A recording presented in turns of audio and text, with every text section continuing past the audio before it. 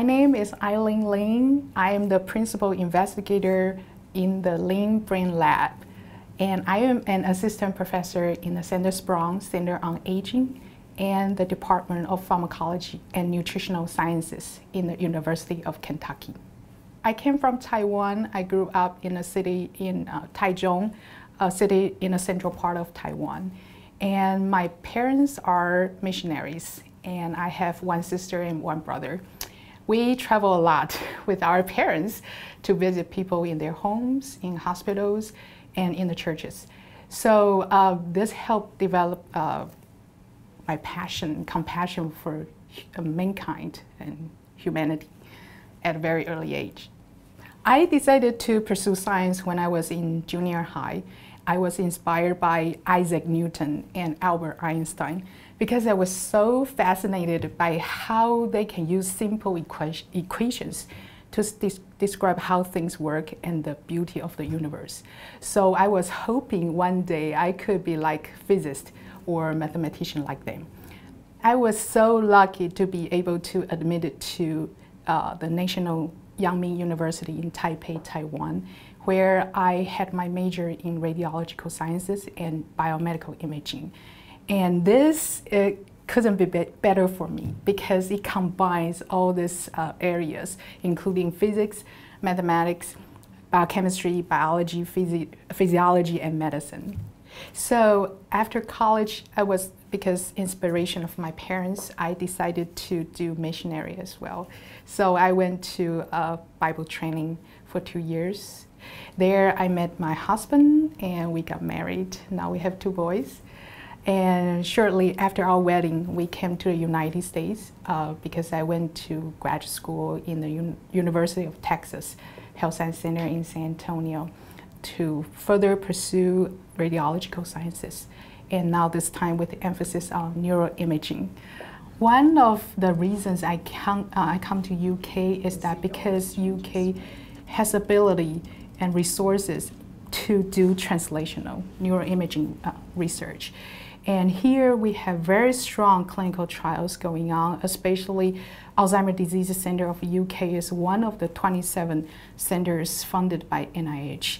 So this is very attractive because I don't want just do animal work. I want to translate all these findings into human clinical trial and to make real impact in uh, patients and in healthcare my long-term goal is that I can find a way to do personalized medicine for each individual.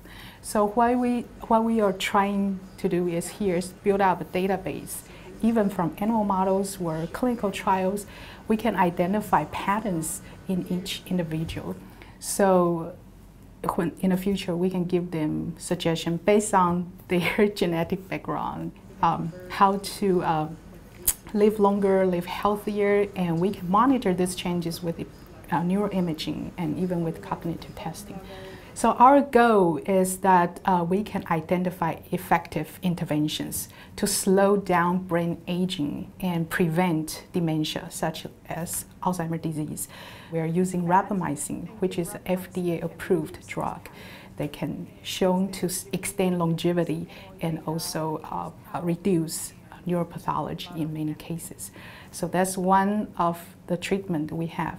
The other one is very cool. We use uh, different uh, levels of nutritional intervention.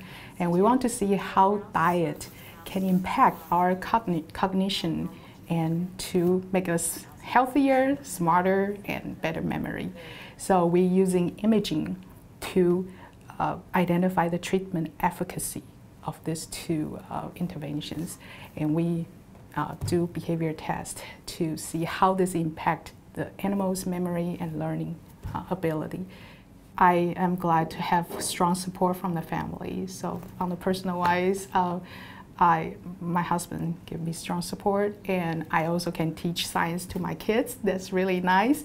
And professionally, of course, for me, I think uh, doing research is more like putting all the puzzles together.